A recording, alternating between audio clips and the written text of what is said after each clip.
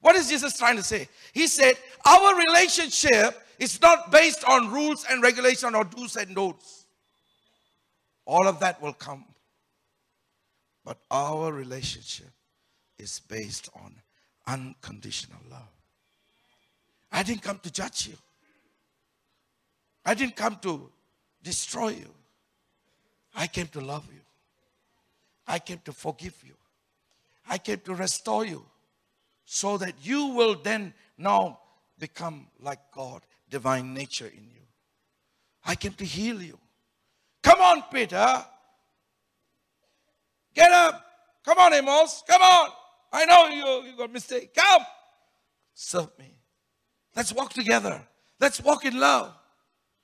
And along the way, I will deal with that. All the screws are tightened for you. And you will be shaped well. And John, he didn't run away. Everyone ran away. He was found at the cross. John was not there, was there not because of a lot of experience. He was there because he was he was deeply in love with Jesus. We need to fall in love with Jesus again.